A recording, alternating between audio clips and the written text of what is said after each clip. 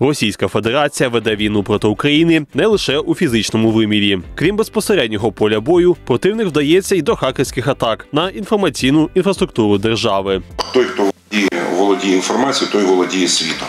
Тому та інформація, яку ми всі маємо, це е, одна з основополагаючих систем нашої стійкості.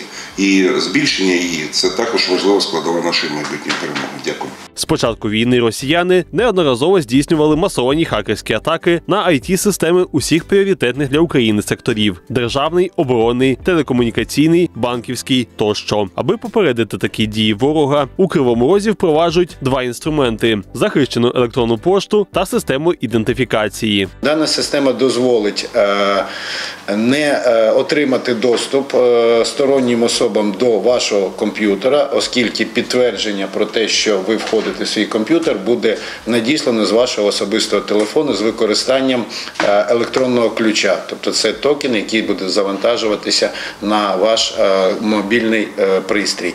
І після цього тільки лише дозволяється вхід на комп'ютер, оскільки багато працівників використовують свій комп'ютер як окремий базу е, зберігання даних, реєстрів, наборів е, інших документів. В першу чергу інструменти захисту робочих місць від кібератак впровадять для співробітників виконкому міської ради. Зробити це планують до 1 червня. Місто Кривий Ріг зараз робить е, дуже швидкий стрибок в зростання і нашої роботи з електронними сервісами, роботою з електронними базами даних. Тому тут, тут потрібно е, додатковий е, захист е, щодо е, наших і робочих місць, і у виконкомі, і в районних радах.